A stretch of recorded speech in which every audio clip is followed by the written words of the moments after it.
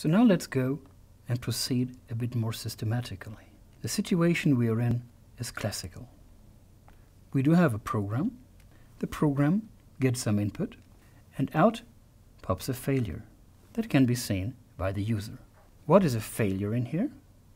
A failure is an error, an error that's externally visible, that is, visible by the user.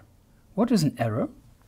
An error is something that deviates from what's correct, right, or true.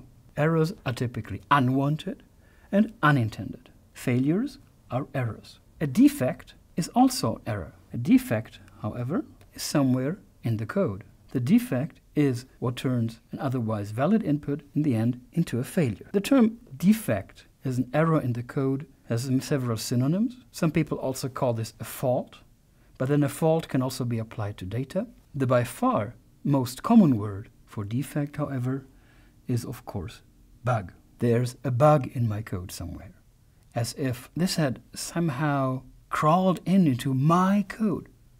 Here's this foreign bug, this is my code, it doesn't belong there. That's okay. In the end, it's us programmers who are actually introducing these bugs in there, and so I very much prefer the term defect. The aim of debugging is to find the defect that causes the problem. For this, we need to look a little bit deeper into how a program actually executes.